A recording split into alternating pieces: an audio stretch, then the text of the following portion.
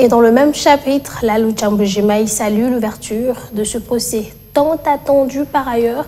Ce mouvement citoyen exige que la justice puisse approfondir les investigations sur d'autres meurtres enregistrés dans la province du Casse oriental. Des faits restés sans suite jusqu'à ce jour.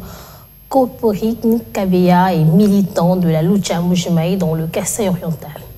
Vous savez que la Lucha et toute la population exigeaient à ce qu'il y ait d'abord l'ouverture des procès pour ces policiers qui, ôtent la vie aux paisibles citoyens. Nous sommes jusque-là satisfaits, mais nous voudrions à ce eh, qu'on puisse eh, chercher euh, l'auteur indirect, c'est lui qui a donné l'ordre pour que les policiers puissent être, euh, aller sur place pour inquiéter la paisible population pour les ports des cachenets. Nous voulons à ce que euh, la justice puisse aller plus loin pour chercher les auteurs indirects de, ces crimes.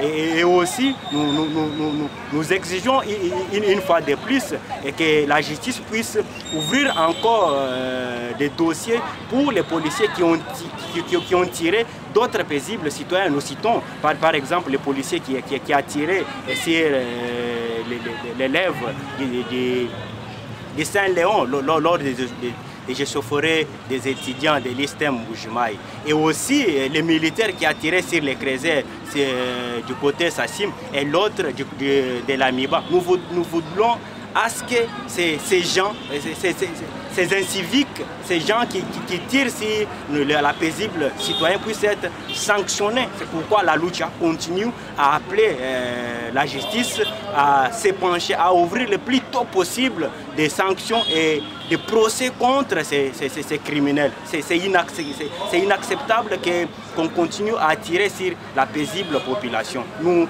continuons à mobiliser la population, à exiger justice pour ces citoyens congolais qui ont été abattus lâchement par la police qui est censée sécuriser eh, la population.